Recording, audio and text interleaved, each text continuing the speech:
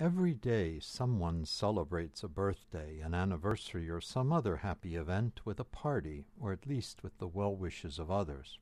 At the same time, someone is grieving a loss or experiencing a lack of something important. Sometimes it's the same person. For the past 12 years, the Orientale Lumen Conference is an opportunity for Catholics and Orthodox to gather to consider that which unites them.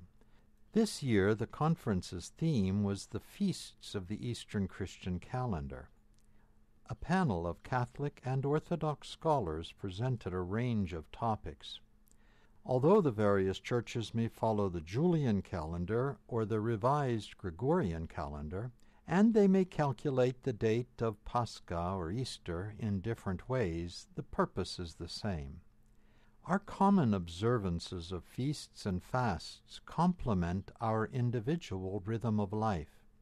There are cycles in everyone's life and in the life of humanity together. Each of these must be recognized so that we may synchronize our life with God's design. There are cycles of 24 hours, of one year, of multiple weeks, and the entire life of an individual. Each of these cycles needs to be recognized and celebrated.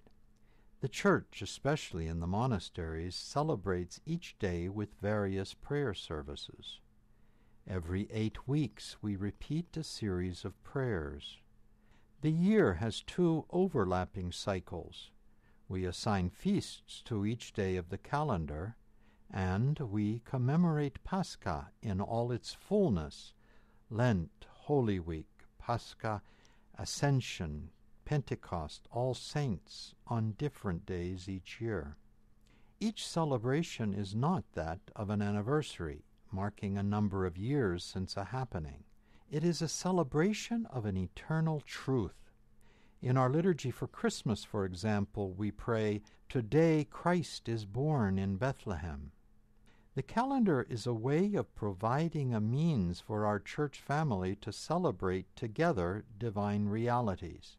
But we know that these realities are not controlled by a calendar. I'm reminded of those families who postpone Christmas awaiting the return of a loved one from the military. On the iconostasis there are icons of the feasts to inspire us throughout the year. Every day someone is in need of celebration, and every day someone is in need of knowing God's care even in struggle.